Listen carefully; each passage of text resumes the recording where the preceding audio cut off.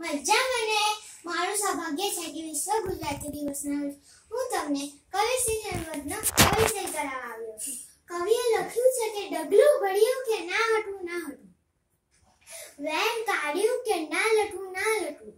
સમજીને તો પગલું મૂકવું, મૂકીને ના પીવું જવાય જો નહીં, આગળ તો ફળીને પાછું લ. છે ને જો સરળ કવિતા? તો આવા કવિ નર્મદને, વીર નર્મદ કેમ કહેવામાં આવે છે? શું તમે જાણો છો? નથી જાણતા? કઈ હું તમને કહીશ, પણ તે પહેલા તેમનો પરિચય કરી કવિ નર્મદનું પૂરું નામ નર્મદા શંકર લાભ શંકર દવે. તેમનો જન્મ ચોવીસમી ઓગસ્ટ અઢારસો તેત્રીસ ના રોજ સુરતમાં થયો હતો. ગુજરાતી ભાષાની પ્રથમ આત્મકથા મારી હકીકત લખનાર કોણ? વીર નર્મદ. ન- નર્મકોશ નર્મ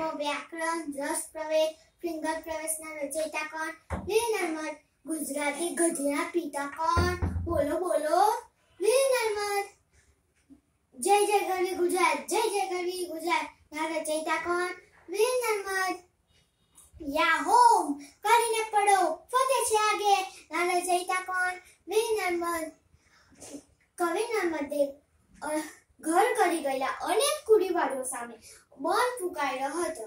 તેથી તેમને દાંડિયો નામનો પાસી પણ શરૂ કર્યો હતો.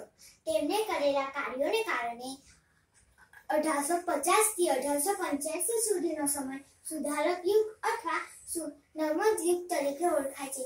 આથી તો કવિ નર્મદને વીર નર્મદ કહેવાય છે. આવા નિડર, સ્વાભિમાની, મારા પ્રિય કવિ ને મારા કોટી કોટી વંદન. આવજો ફરી મળીશું.